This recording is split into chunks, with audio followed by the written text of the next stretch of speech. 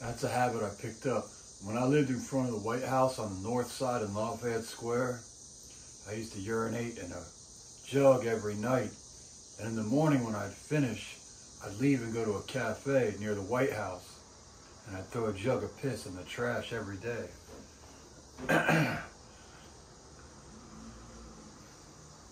then, and that was that was at that little hut there with all the flags and stuff.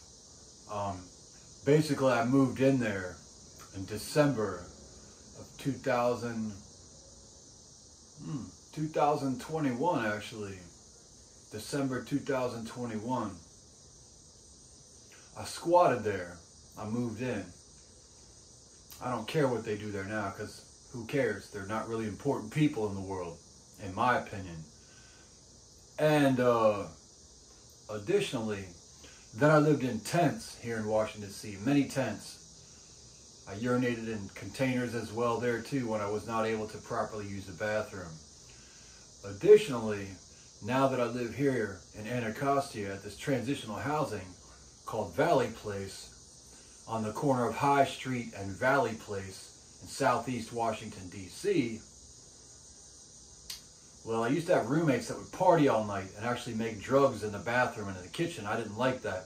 I stayed in my room all the time and I used a jug for urine and I also defecated, took poop. I took a poop in bags and then I take the bag to the trash in the morning. That's how I avoided my roommates who were here who were trying to screw up my life and all your lives too with the drugs that they made here. They moved out a couple of months ago although just out of the apartment.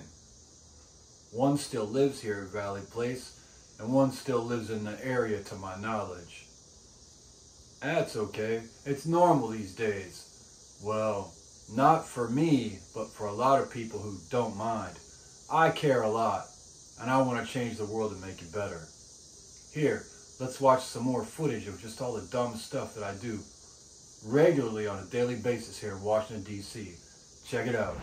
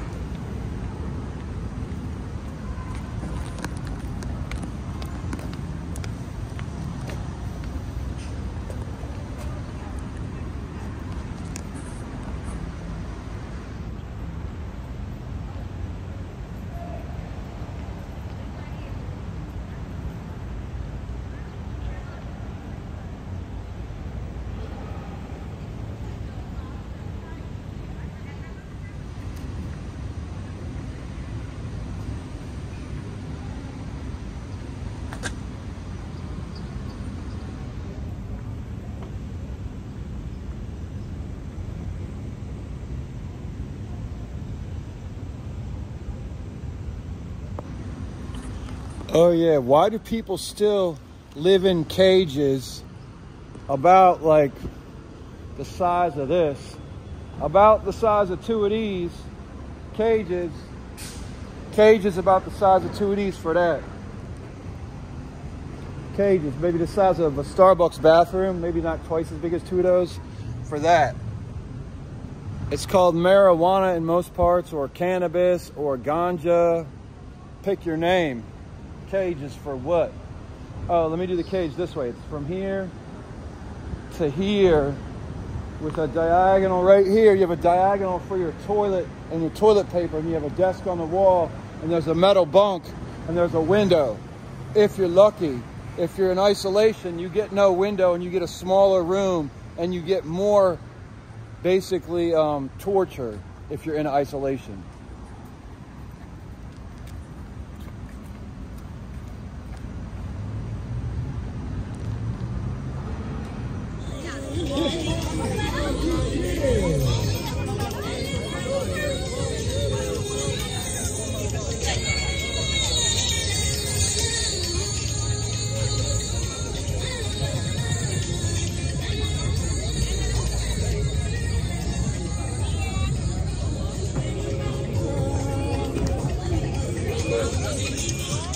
Because today is your birthday.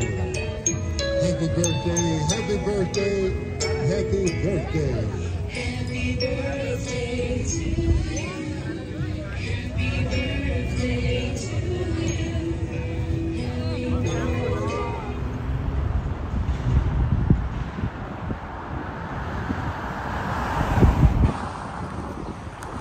White House, Washington, D.C. That's where the president lives. Can someone please ask him to sign some of the proper paperwork and rather than the messed up paperwork that messes us up? Please, somebody. Somebody, somebody, please.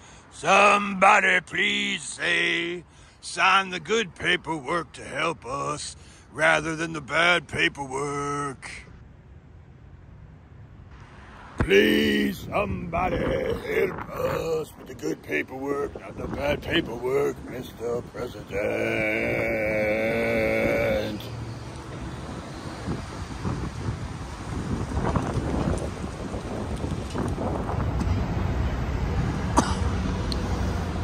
Oh, oh.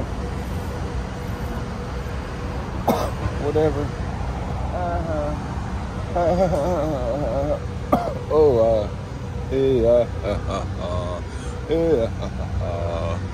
Well, here they are. Hey, I got a message for y'all. I got a message for those folks. Here we go. It's over that way. I'm gonna go catch the Bizoff the other way.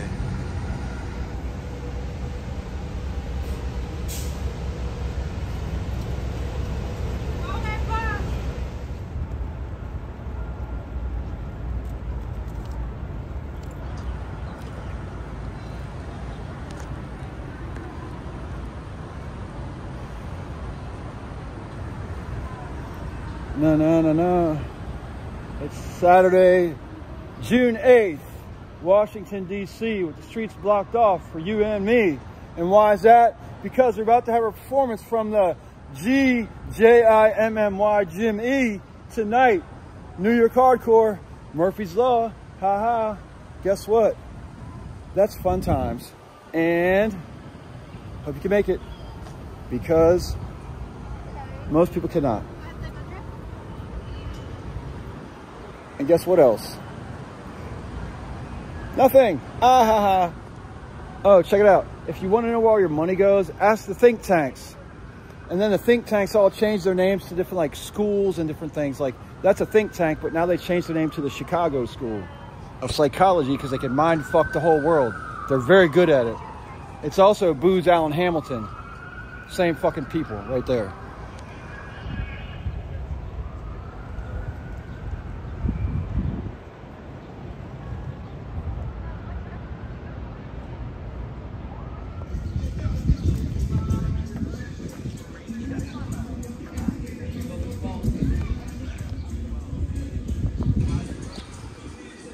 This dude, I just saw him from sitting over there taking my picture when I was talking to my friend at the drum circle. This is him if anyone cares to know.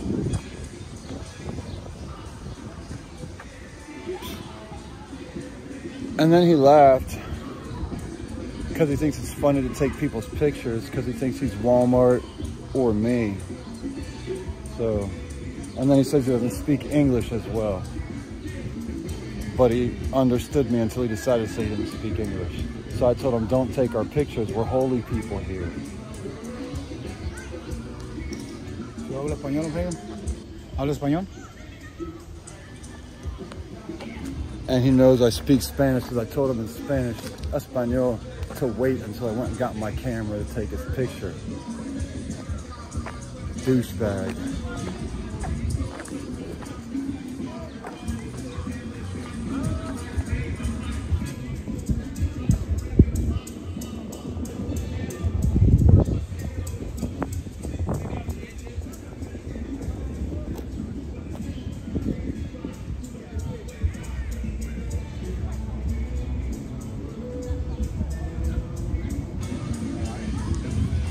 And when he was taking our picture, he was taking it from right there, where those dudes are sitting.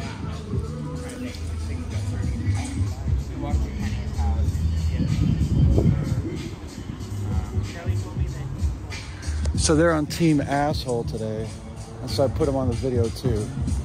Ha ha.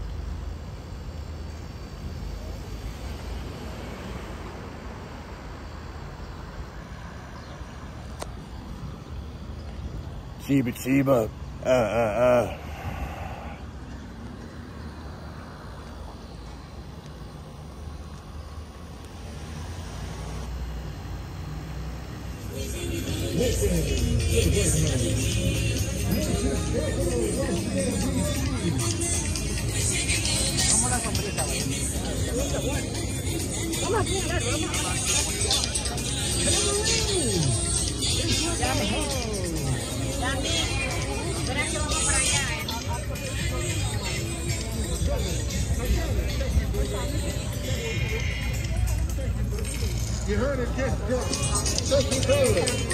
Hallelujah. Happy Father's Day. Happy Father's Day.